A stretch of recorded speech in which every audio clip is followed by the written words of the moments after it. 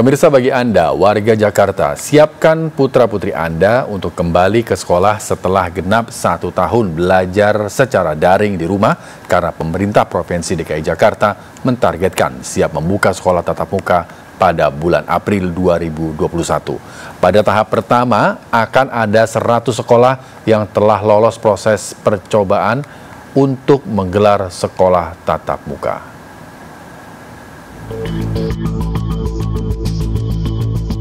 Setelah genap satu tahun belajar di rumah secara daring, di bulan April ini, Pemprov DKI Jakarta berencana akan membuka 100 sekolah dengan proses belajar mengajar secara langsung atau tatap muka. Hal tersebut diungkapkan Ketua Komisi E Iman Satria usai mendengar pemaparan dari Dinas Pendidikan DKI Jakarta yang dihadiri Kepala Dinas Nahdiana.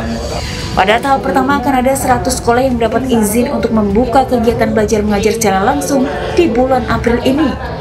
Itu pun setelah dinyatakan lolos dalam proses uji coba dan secara mekanisme harus tetap menerapkan protokol kesehatan, baik sarana dan prasarana, anak didik juga pengantar ke sekolah seperti para supir agar tidak menjadi klaster baru di dalam maupun di luar sekolah.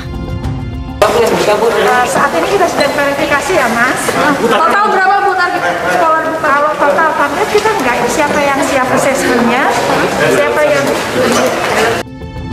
Sementara Kepala Dinas Pendidikan DKI Jakarta Nahdiana mengungkapkan telah selesai memverifikasi sejumlah sekolah yang dibuka pada bulan April 2021.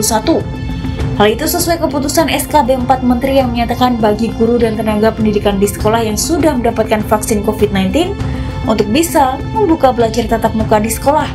Dari Jakarta Pusat, Rani Stone Sanjaya melaporkan.